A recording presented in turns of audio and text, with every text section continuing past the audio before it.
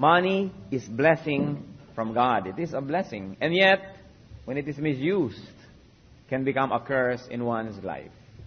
Money is probably one of the most misunderstood elements of daily life. At dahil po sabi sa Psalm 119 verse 105, Your word is a lamp to my feet and a light for my path. From the words of God, we can have a better understanding of this often misunderstood blessing called money. What does God's word and what does the Bible say or teach and remind us about money? Sa atin pong pag-aaral ngayon at pag-appreciate sa mga blessings ng Panginoon, five things to remember about money. Dear Lord, we thank you that you are a God who provides, that you give us our needs. And we thank you, Lord, for material wealth. We thank you for material provisions, or its representative called money. We pray, Father, that you may enable us to understand this blessing in a more spiritual way, in a godly way, so that just like a powerful river, it can be channeled, it can be dammed, it can be used under the control of your Spirit. Father, we commit this time to you, that you may speak to us in a very practical way about a very practical part of our daily life. Because you are interested with our daily life. You're interested with how we handle your resources. Father, teach us. In Jesus' mighty name, we seek your protection from all evil men, from all evil spirits, from all malicious plan of the devil against his assembly. We frustrate all that in Jesus' mighty name. We hide in the shadow of your love and ask you, Father, speak to us powerfully from your heart through our hearts, O Lord. May you do your will. In Jesus' mighty name we pray. Five things to remember about money. Number one, that money is to be earned. That money or its equivalent is to be had. Why? Because money is a shelter. Money gives protection. According to Ecclesiastes chapter 7, verse 12, money is a shelter. Ito isang uri ng kanlungan. Shelter from needs, shelter from a lot of insecurity, shelter from our wants. That money is a shelter. Therefore, what can we learn about that? We should make money. We should make honest money. This honest money disappears bit by bit. Clean money grows and grows. Proverbs 13 verse 11, Dishonest money dwindles away, but he who gathers money little by little makes it grow. Ano pong ibig sabihin ng little by little? Hindi naman yung gino-glorify yung napakabagal nating gumawa ng kabuhayan o napakabagal nating maghanap buhay. Kundi little by little in the sense that it is not quick money. It is not money that is quickly earned through very devious means. Ibig sabihin talagang tiyaga, honest, pinaghirapan. Pero daw dishonest money ay nauubos agad o nawawala. And what can that mean? It doesn't mean na physically nawawala, although it can also mean like that. But it can mean also that dishonest money nawawala ng value, nawawala ng halaga. Na habang dumadami, mas kumukonti yung ating capacity to enjoy it. Or, hindi na nakakukuha na tayo paligayahin, pasayahin, bigyan yung mga kailangan, nagawala ng katuturan because it is dishonest. That's why while the Lord teaches us that it is good to be enterprising and productive, it must be done in an honest way. What can we glean from this first group of verses? Strive for honest ways to earn money. Kumisa sa mga spiritual na people, parang bad word yung money, parang very materialistic naman. Pero makakarating ba kayo dito ngayon kung wala kayo niyan? Makakasupport ba tayo ng gawain ng Panginoon kung wala tayo noon? Meron ba tayong maita-tithe and offering kung wala rin tayo noon? Hindi po masama yung money. Because it is a blessing from God. That's why it is important to understand it thoroughly from a very, very biblical point of view. What else can we know about money and to remember about money? Money is to be multiplied. We don't make money, God gives money, but what we do is, through our God-given gifts, through hard work and honesty, to make it grow. Money is to be invested, not just spent. Nakita niyo po yung mga taong laging walang pera, yung mga taong pag nakakahawak ng pera, ang iniisip ay gumastos. Hindi na iisip mag-invest. Nagkaroon ng 1,000 pesos, hindi bumili ng tatlong kawali, bumili ng isang piling na saging na sabat, gawing banana cue at itinda. O kaya nagkaroon ng several millions, Ang iniisip agad ay bumili ng isang island, mag-member ng isang club, hindi iniisip na mag-invest at magnegosyo. Money is to be multiplied. God loves seeing money being multiplied. Kaya sa isa pong parable na binigay ng Panginoon tungkol sa money, sometimes called talents, because it is a measure, it's a financial uh, measure. Meron po siyang binigyan ng maraming talent, may binigyan ng konti, may binigyan ng um, maliit lamang, pero inaasahan niya na ayon sa kakayahan at ayon sa ibinigay niya, mapaparami. Matthew 25 verse 16, The man who received the five talents went at once and put his money to work and gained five more. So hindi lang niya ginastos yung pera, pinagtrabaho niya yung pera. Ininvest, pinuhunan, pinalago, at naging times five. At yun pong binigyan ng Panginoon ng konting-konti lamang, konti na nga yung ibinigay, hindi pa pinarami, binaon lang sa lupa, hindi natuwa ang Panginoon. Sa Matthew 25:27, sabi niya doon sa nangangatwiran ay ang liit-liit naman na binigay niyo sa akin, lubog ko na lang sa lupa, o eto na uli. Well then, sabi ng character in the parable representing God, you should have put my money on deposit with the bankers so that when I returned, I would have received it back with interest. Ayaw mo pala eh ka na mamuhunan, ayaw mo ikaw mismo yung magtrabaho at magnegosyo, sana man lang binigay mo sa bangko, magka-interest man lang. Ang gusto ng Panginoon, ang binibigay niya po sa atin na pera, ay lumalago, hindi na uubos. Why? Because the Lord multiplies blessings and the Lord loves multiplying blessings. And what else should we do? That we should not only make money, but we should make more money than we need. Why? Because surplus money is to be made for sharing. Hindi sapat na tayo lamang ay making money, we should make surplus money. Lampas ating pangangailangan. Ephesians 4:28. One of the teachings of Paul concerning Christians, sabi ko, kailangan maiba na yung style nyo. O yung hindi nagtatrabaho, magtrabaho. Yung nagtatrabaho, mas magtrabaho pa. He who has been stealing must steal no longer, but must work, doing something useful with his own hands, that he may have something to share with those in need. So you see, the teaching is that you should not only work so that you will have something for your needs, but you should produce more than you need so that there's a surplus and you will have something to give away for those who are in need. So ang Panginoon po na nagbibigay sa atin ng blessing, syempre ibinibigay niya yan una para gamitin natin, para tayo mag-enjoy, para tayo magkaroon ng mga provisions. Pero lampas doon, gusto niya marunong tayong mag-invest. Napaparami natin at hindi tayo sapat na kumita na. Makikita mo kumisan, bakit ba itong taxi driver na ito nasa ilalim ng puno, yung taxi nakataas ang paa doon sa bintana at natutulog na? Bakit ka natutulog? Naka-boundary na ako. Tama na sa kanya maka-boundary. O bakit na magsisini na itong tindera sa palengke? Kinita ko na yung pambayad ko sa pwesto ngayong araw na to. O bakit ito naman ay ayaw na magtrabaho? Eh, tama na yung kinita niya ngayon. O magiinuman na tayo, enjoy na natin. Sabi ng Panginoon, kailangan kumita ka ng higit sa kailangan mo para pag may nangangailangan, may maibigay ka. Hindi lang yung sapat para sa'yo. It is important. What else do we need to know and remember about money? That money is to be made so that we can offer it to God. The Lord likes to see His blessings going back to Him in ways of our offerings, our tithes. Gusto niya yon. Isa po yan na pagkilala sa kanyang pagiging king over our lives. Kaya po major uh, crime yung tax evasion eh. In fact, yung uh, very uh, infamous na criminal sa Amerika, si Al Capone, noong 1920s. Eh ano po, hindi siya mahuli kasi malinis siyang gumawa ng krimen. So hinuli na lang siya at nakulong siya dahil sa kaso ng tax evasion. Why? Because it is treachery to the state not to pay your tax.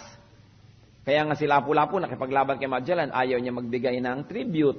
Kasi kahit maliit na barya lang, ba't siya magbibigay ng tribute to Magellan? Eh, ibibigay sa King of Spain. Ibig sabihin, kinikilala niyang hari niya, yung hari ng Espanya. So sabi niya, hindi ako magbibigay. Kaya po yung pagbibigay natin ng tithes ng offering, yan ay pagkilala na ang Diyos ang ating hari. That's why we give our tribute. We pay our tax. It's not only for practical use that the church needs those things, para ma-finance ang ginagawa ng church ni Lord, kundi it is also our personal gesture of submission to the kingship of God in our lives. Kaya nagbabayad ng buwes. Meron bang kaharian na hindi ka nagbabayad ng buwes? Meron ba mga gobyerno na hindi ka nagbabayad ng buwes? Meron nga, hindi gobyerno naniningil ng buwes. Di ba? Dadaan ka lang, hihingan ka ng tong. Kailangan magbayad ka sa akin dito dahil teritoryo ko to. O, ta yung Diyos pa ang hindi natin bibigyan ng ating buwes. Kaya po kahit itong isang babaeng balo na mahirap, lahat na ng kanyang kakonti-konti ang pera, although it's not konti to her, it's her everything ibinigay niya. Kala niyo ba pinigil ni Lord? Sabi, huwag, kawawa ka naman, huwag ka na magbigay kasi mahirap ka naman, yung mayayaman na lang magbigay.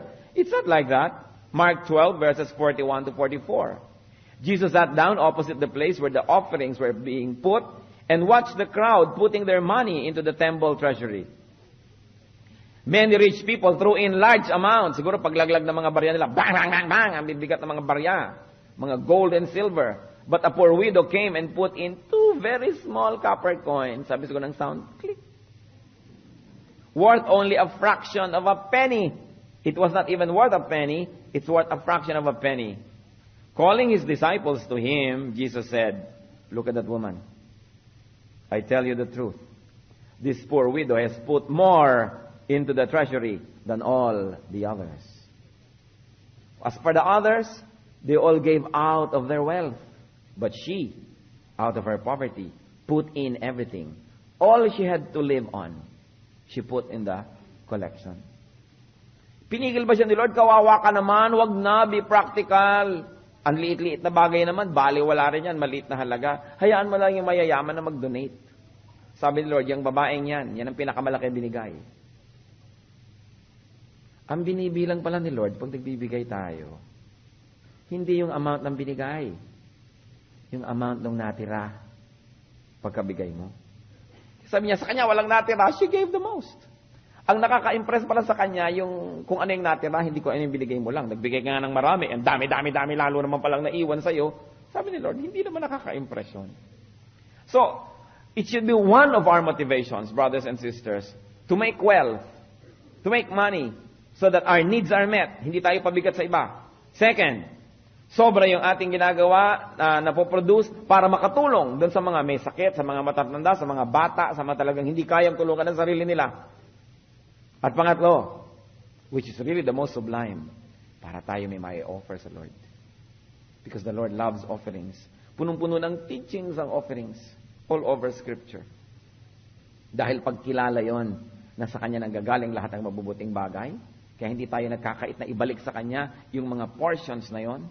Kinikilala natin na tayo ay nagkakaroon lamang at may tinatamasa, meron tayong mga na-enjoy only because of God's grace. Gano'ng karami sa atin ang merong motivation na, I will be productive, I will work hard, I will produce a lot, so that I will not only meet my needs, but also I can help others, and so that I can also make great, dramatic, grand offerings, so that the work of the Lord may advance on earth. It is a good motivation. Something to be understood about money. And yet there's a fourth item that we must all review and remember about money. That money should be enjoyed. Kaya nga inimbento yan para tayo mag-enjoy. O imbes may dala kayong isang sakong kamoting kahoy, papalitan nyo yung binibili nyong isang panyo. O di dala-dala ng pera, magaan. Diba? Pampa-enjoy, pampaginhawa. Dumadali ang buhay, hindi dala-dala mo isang tambak na paninda at barter ng barter. It must be enjoyed, not only in the handling, but more importantly, in what it buys for us. So money should be spent on what truly satisfies. Money should be spent on what is important. Isaiah 55, verse 2. Why spend money on what is not bread, and your labor on what does not satisfy? Listen, listen to me, and eat what is good, and your soul will delight in the richest of fare. So sabi, why spend money on what is not bread? Natatandaan ko po ang lola ko, nanay ng nanay ko, tawag namin Ima. Sa Bulacan, we call her Ima. Natatandaan ko minsan, merong lumapit sa amin sa isang public place, nagtitinda ng chiclet. Sabi ng lola ko, nakakabusog ba yan? Hiyang-hiya ako doon sa nagtitinda sa kumbira mo si Ima, hindi na lang bibili, tinatanong pa yun. Sabihin na lang sana niyang, no thank you. Sabi niya, nakakabusog ba yan? Hindi po. Eh, hindi ko bibilin. Hindi nakakabusog. Sabi niya. So, by biblical pala. Isaiah 55 verse 2. Why spend money on what is not bread? In other words, on what is not nakakabusog, what is not nakakasatisfy, what is not good for you. Ano po mga pinagbibili niyo mga kapatid? Nakakasatisfy ba? Kumisan man marami tayong binibili hindi nakakasatisfy. Bakit mo binili ang isang katerbang tasa? Sale. Sale nga, pero magagamit mo ba? Eh, sale eh. How can you say no to a sale? Pero nakakasatisfy ba? Ilalagay mo lamang sa bodega mo pagkatapos, pampasikip. So why spend money on what does not satisfy? That's why money is useless in the hands of a fool. Baka akala nyo ako may sabi niyan. Proverbs 17, verse 16. Of what use is money in the hand of a fool? Sabi ganon. Anong katuturan? Proverbs 17:16. Anong katuturan ng pera kung ang may hawak ay hindi marunong? So one of the practical things we can learn, do not give money to fools. Meron kayong mga kamag-anak, meron kayong mga bibigyan, pipiliin nyo, sinong bibigyan ko? Bibigyan ko ba itong marunong o di marunong? Sasayangin lang ito eh. Kung ibibigay ko sa hindi marunong, anong bibilin mo? Bread ba? Nakakabusog, nakakapagpatalino, nagbibigay ba sa atin ng comfort? O ano? Drugs, mommy. Talagang nakakasatisfy. Satisfied ka na ilang minuto, tapos ilang araw kang wasak. No? O anong bibilin mo? Anin mong pera? Kaya po marami mga tao hindi marunong mag-handle ng pera. Nung pinayaman, bibili ng kondo, doon itatago ang tatlong kirida, tigit-tigis ang floor. Di nga naman nakikita-kita. O, ganun ba ang paggamit ng pera? Bibigyan ka ng Panginoon ng pera, anong gagamitin natin? Magiging tayong mataas, magiging tayong mayabang. So, anong nangyayari? Binabawi. Because, ang sabi ng Bible, of what use is money in the hand of a fool? So you want to keep money, kung binibigyan tayo ng Lord, be wise. Dahil ang hindi wise, binabawian ng pera. Na ibigay na nga sa kanya, babawiin pa. Kasi, hindi bagay ang pera sa hindi marunong. Ako ba may sabi nun? No. Proverbs 17:16. Of what use is money in the hand of a fool? Kaya kumisan, meron tayong mga moments sa matalino tayo, tama ang ginagawa natin, nagdati ka ng pera, pero are we always wise? Because if we stop being wise, that money will be taken back. Binabawi. Hindi bagay ang pera sa hindi marunong. Kaya nakikita niyo po, kanino ba lumalapit ang pera? Di ba sa marunong? Sa marunong maghanap buhay, sa marunong magtyaga, sa marunong magnegosyo. Yung mga hindi pa kinikita, ginagastos na, binabali na, hindi magkakapera kahit kailan. Laging ubos, laging kulang. Kasi hindi nag invest Alam niyo, paano ko mag invest Eh, ang unti-unti. Yung mga amo ninyo ngayon, suriin ninyo, once upon a time, hindi rin mayayaman yan. Nagyamanan lang kasi marunong sa buhay. May hindi minana niya. O yung kanino niya minana, sa ninuno niya. Alam mo, ipinanganak yung ninuno niya, dala-dala rin yung pera. Kasi maraming hindi marunong. Pag nagkakapera na, hindi na marunong. That's why one generation is very wise and makes a lot of money, works very hard. The next generation enjoys that money and continues to work half-heartedly hard. And then the third generation sells it all. Di ba marami siguro tayong mga kilala? Nagpakahirap-hirap yung mga lolo't lola na magpundar. Yung mga anak naman, ginamit yon, tinuloy ang konting negosyo. Pero yung mga apo na hindi nakilala yung mga lolo nila na nagpundar, gasta dito, gasta doon, benta dito, benta doon, ubos. Kasi hindi bagay ang pera sa hindi marunong. So gusto natin magkapera, kailangan tayong marunong. Nagkapera na tayo, gusto yung i-maintain, continue to be wise. Dahil binabawi. Binabawi. What else can we learn? That money is not to be loved. It is not to be served. Money is not to be served. Ano po ang problema pag sobrang minahal ang pera? Love for money diminishes its value. Pag sobrang mahal ang pera, yung halaga ng pera lumiliit. Bakit?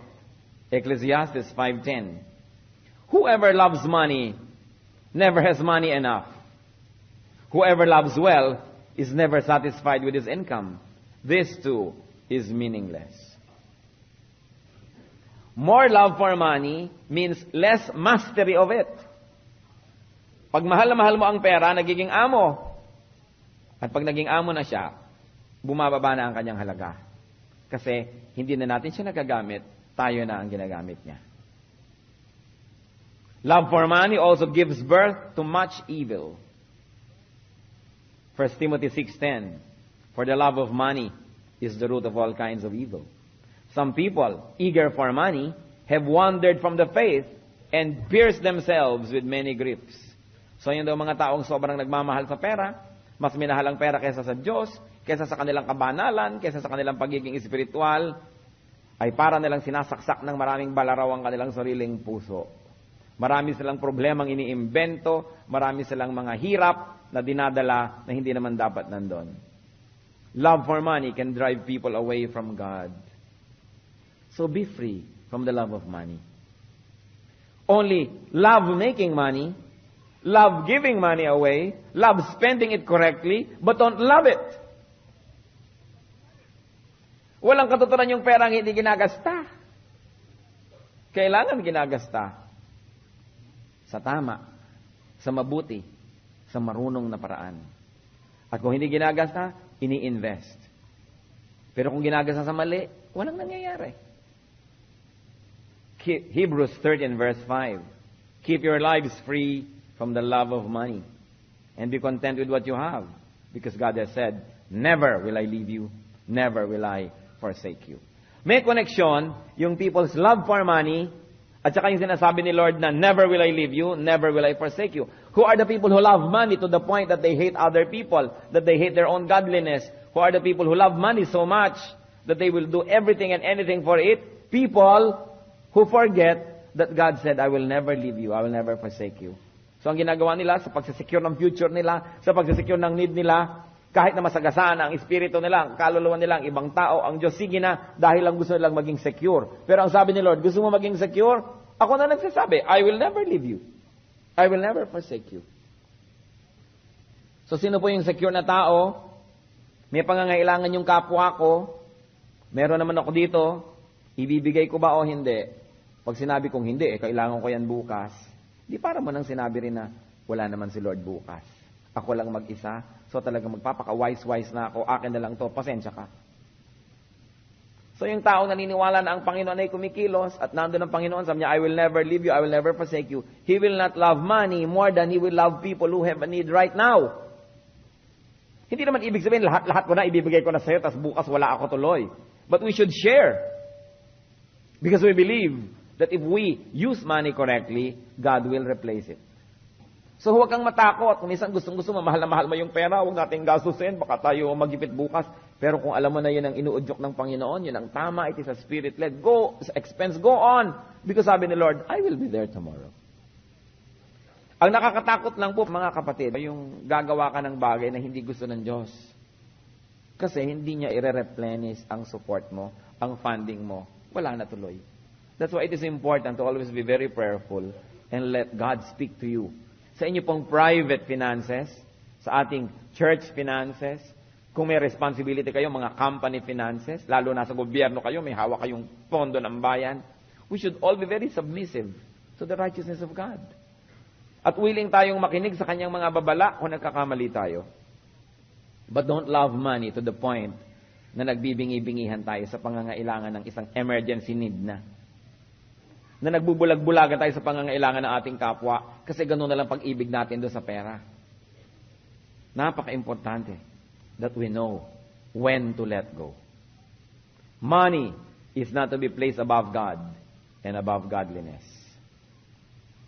Matthew 6:24. No one can serve two masters. Either he will hate the one and love the other, or he will be devoted to the one and despise the other. You cannot serve both God and money. Money is to be used in our service to God. But God is not to be used in our service to money. Na wala na tayong ginawa kundi humingi ng humingi sa Diyos. At tapos inaano naman natin yung binibigay sa atin. Sinasamba natin, iniimpok natin na para sambahin ang sambahin yun.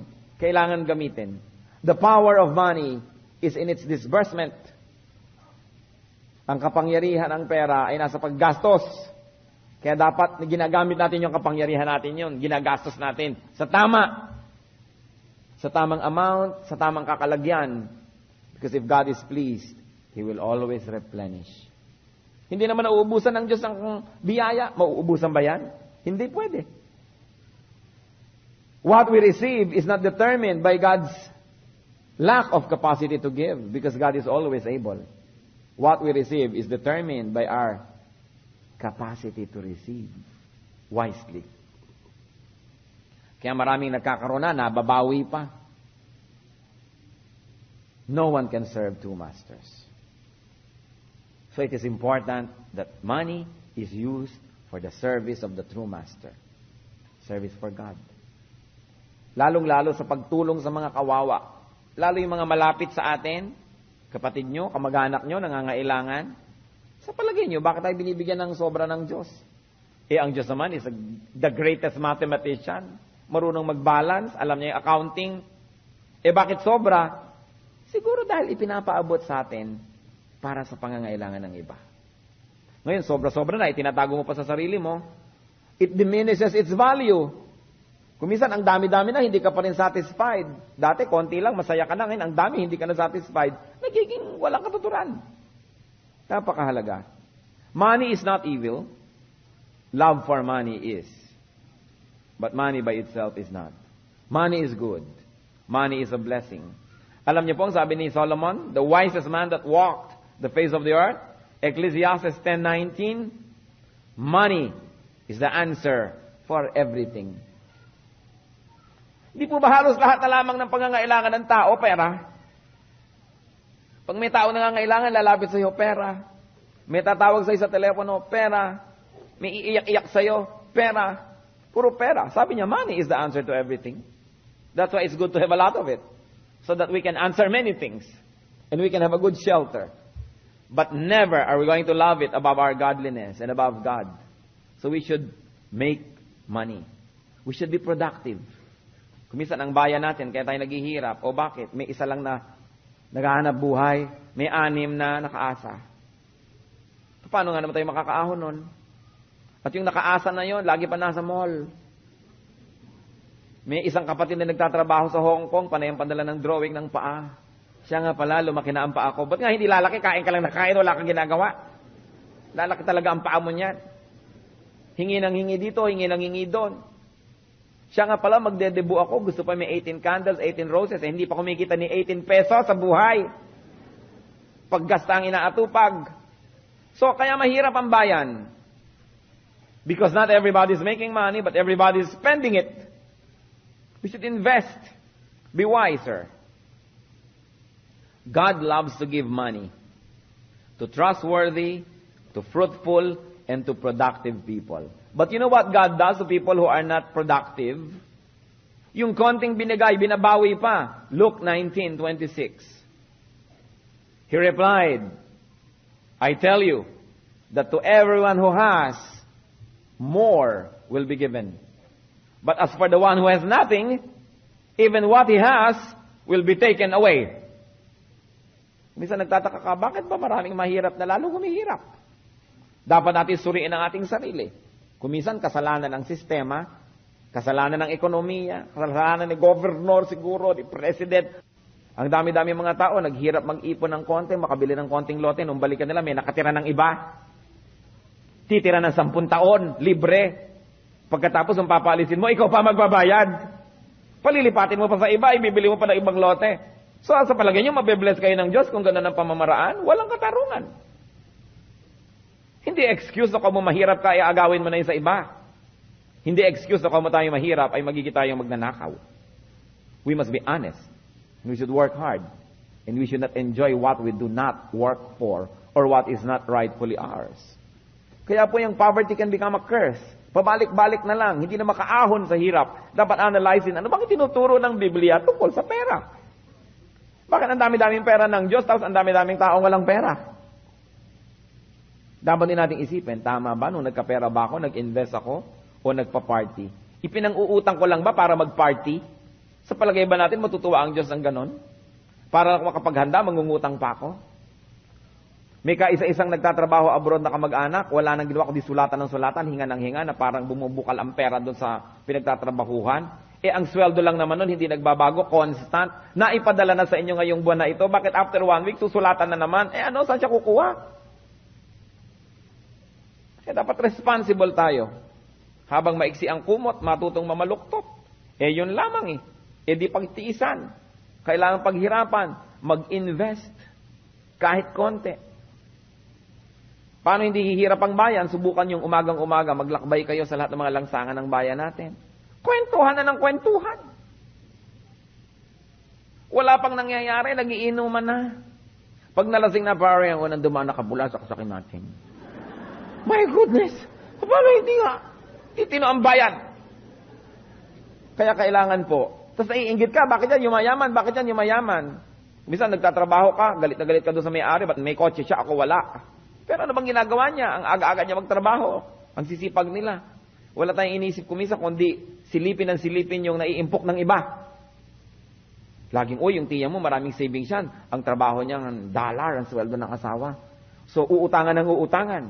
Eh, kayo ba ang nalulungkot sa pangungulila niya sa kanyang asawa? Hindi naman kayo kasama sa lungkot, tapos kasama kayo sa gastos?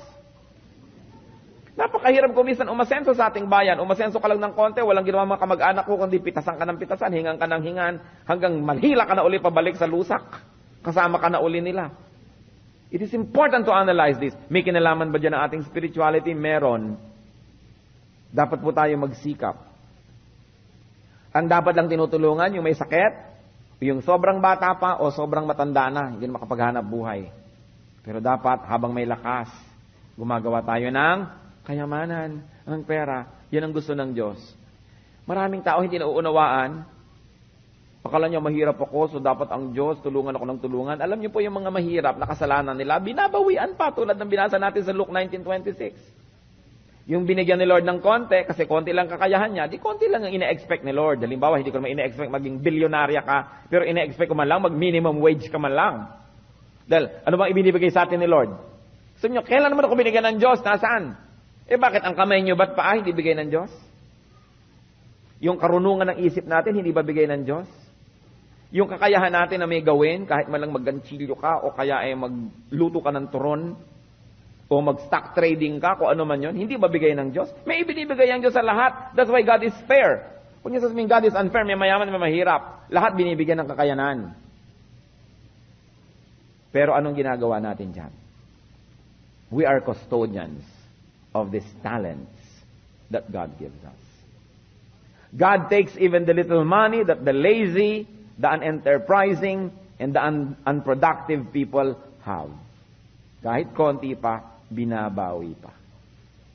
So we should make honest money, and we should be wise. Because money is a good shelter. Hindi ko spiritual ka eh, ayaw mo na ng mga bagay na yan.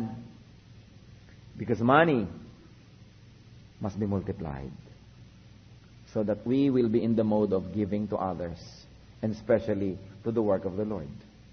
We should offer money to God. We should also enjoy money. Be wise in spending your money in the right things that will really give genuine satisfaction. And then we should share money. And we should not serve money, but we should make money serve us, especially serve our godly purposes. Kumusta po ang pag-handle natin ng resources natin? Kumusta? Are we making money? We should. Kung may mga panahon na natitigil, nawawalan tayo ng ginagawa, sandali lang dapat yun. Gagawa na naman tayo. Iimbento na naman tayo. Ang dami-dami mga tao, pag binasa niyo kasaysayan ng buhay, ang yayaman ngayon, yung pala, walang-wala noon. Nagsikap. God promises to bless those that work hard. But you should not only just work hard, you should work smart. Hindi natutuwa ang Diyos sa pagod na pagod na hindi matalino ang ginagawa, ginagamit ng kanyang pagod. Na pagod na pagod na, lit-lit din naman ang nangyayari sa buhay. Dapat creative. Nag-iisip tayo. Ito bang ginagawa ko, mahahango ako sa hirap? O hindi? So, palit-palitan ng style. The Lord would like to bless you. And me. The Lord is not selfish. Ang Panginoon hindi mahirap, mayaman siya. Pero natutuwa siya sa mga taong masisipag, marunong, matapat, at bagamat mahilig gumawa ng pera, eh hindi alitin ng pera at hindi mukhang pera. Mayroong mga tao, ang dami-daming pera, hindi nila alam gamitin. Ipon ng ipon. Pag namatay tuloy, ang daming minamana ng mga pamangkin. There was this particular lady in the U.S. Ni hindi naghihitar ng bahay kahit winter. Ang bahay ay dilim-dilim, ayaw magbukas ng ilaw. Nung namatay, pagkayaman-yaman pala. So napunta lamang kung saan mga charities yung kanyang pera. Ba't di ginamit? Tulad na magaganda yung plato, nasa kabinet, tinitira ng gagamba. Ba't di gamitin? Aanin nyo yung binibigay ng Diyos kung di gagamitin? Kaya karunungan, kalusugan, ginagamit lahat. You know, one thing about God, God is a working God. Pagbukas ng tabing, Act 1, Scene 1 ng Biblia, what kind of God do you see? Isang Diyos na nagtatrabaho.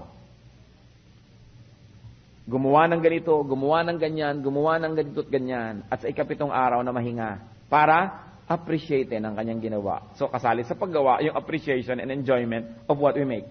Kasama yon. Hindi niyo nakita ang Diyos na nakatiwangwang at nagpapahinga pagbukas ng tabing ng Bible. Nakita natin isang Diyos na gumagawa. At ang Panginoong Diyos ay nagsakatawang tao, bumaba sa lupa, isa pa rin siyang Diyos na gumagawa. Anong ginawa ng Panginoon nung wala pa siyang public ministry? Carpenter. Meron siyang mga ginawa. At pagkatapos nung nasa ministry na siya, lakad dito, lakad doon, punta dito, punta doon, namamangka, naglalakad, umaawan ng bundok, naglalakad sa mga disyerto, Nagpapagaling ng mga may sakit, nagtuturo ng mga kailangan ng karunungan, itinatama ang mga mali, at ang climax ng kanyang ministry, nagtatrabaho pa rin, pinasan ang krus, at habang ipinapako, nagtatrabaho pa rin, nananalangin, hindi para sa kanyang sarili, kundi para sa mga nagpapako sa kanya. Sabi niya, Father, forgive them for they know not what they do. At talagang sobrang magtrabaho ang Diyos, namatay na nga, bumango pa muli para magtrabaho na naman, para i-bless na naman ang kanyang mga disciples, mag-utos, mag-manage. We should work. Alam niyo, ang mga tamad, eh hindi natin alam ang sinasamba ng mga yan, si Taning. Pero si Taning pa rin, kasipag. Kung makukuha lang natin kahit one-fourth ng sipag ng mga Diablo, yayaman tayong lahat. Dan ang sipag nila hindi tumitigil. Nakita ninyo ang sipag ng Diyos, ang sipag din ng kanyang kaaway. Eh ngayon yung tamad, nasan? Neither here nor there. Kailangan ng tao masipag. Hindi tatamad-tamad. Kahit sa ministry, kahit sa inyong mga secular jobs, we always find to ways to improve what we do. Hindi laging ganun na lang ng ganun. Let's bow before the Lord Church and think about these things. You probably didn't expect we'll talk about money today. Pero yan ang meron kayong lahat ngayon. Di ba? Maikli, konti marami. At yan ang gusto ng lahat. Yan nagtatrabaho ng lahat. Banal mat hindi banal, it is important. God wants to bless you through money. But you've got to do it God's way. Ang gusto ko pong kumustahin while heads are bowed and we're pondering God's wisdom. Tayo ba ay maingat na humahawak ng resources? Tama ba ang pinupuntahan ng ating mga resources na ito? Pinakatama ba? Hindi lang tama, pinakatama sa lahat ng maraming tama. Marunong ba tayong magbigay? Marunong din ba tayong mag-enjoy? O puro kakuriputan sa sarili? Alam niyo po yung pag-enjoy ng blessing ng Diyos is a way of worship. Kasi habang ini-enjoy niyo, sinasabi, Lord, thank you for giving me this. Thank you for making me enjoy. You're really great. You're wonderful. It's an act of worship also. At pati ang paggastos ng resources sa tama is an act of faith. Kasi pinapawala natin yung resource, hindi na natin hawak. Naniniwala tayo na kung tama ang ginagawa natin, ang Diyos ang magpapalit. Even our expenses are acts of faith. Spirituality is in every form of our lives, even in the way we manage our finances. Be alone with the Spirit. Humingi tayo ng guidance sa Lord. Tama po bang ginagawa ko sa resources? Kung kulang, magtanong kayo sa Lord, ano po ba talaga ipamukha nyo sa akin ng mga hindi ko ginagawang tama? Bakit lagi na lang kung kulang samantalang mayaman kayo? Anong problema sa akin? Siguradong hindi naman sa inyo ang problema, di sa akin dapat. What's wrong? Baka masyado akong selfish. Hindi kayo natutuwa. Baka hindi ako productive, binabawian nyo pa. Matuwain ang Diyos sa mga productive and godly people. Be alone with the Lord. At sa ating mga binibigyan ng extra resources, yan ay extra responsibility. Ano bang dapat nating gawin? Itanong nyo sa Panginoon kasi Kanya lahat yan, tayo tagahawak lamang. be alone with the Lord.